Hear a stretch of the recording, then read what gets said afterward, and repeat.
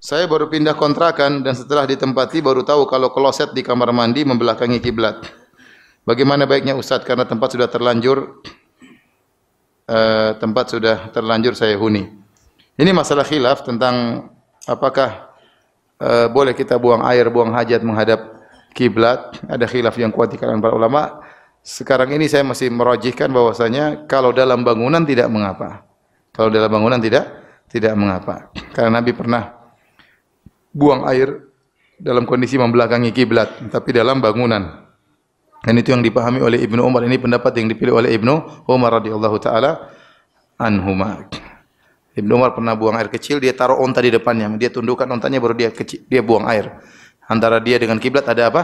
Ada onta. Jadi kalau dalam bangunan, insya Allah perkaranya lebih ringan. Memang ada khilaf. Sebagian sebagian sahabat mengatakan meskipun dalam bangunan uh, tidak boleh menghadap kiblat atau membelakangi kiblat tatkala buang buang air ya. Allah alam bisa tapi saya lebih condong pada pendapat kalau sudah dalam bangunan ya antara kita dengan kiblat ada penghalang maka tidak mengapa meskipun menghadap kiblat. Allah alam bisawab. Jadi kalau kondisinya seperti ini tidak mengapa.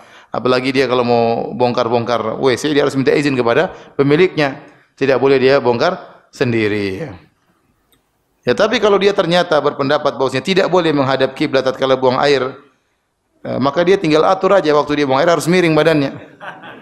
Kalau memang dia merojikan pendapat itu, ini masalah khilafiyah tidak bisa kita paksakan. Kalau menurut dia bahwasanya tidak boleh secara mutlak dalam bangunan pun tidak boleh menghadap atau membelakangi kiblat, ya sudah dia tatkala buang air dia miring.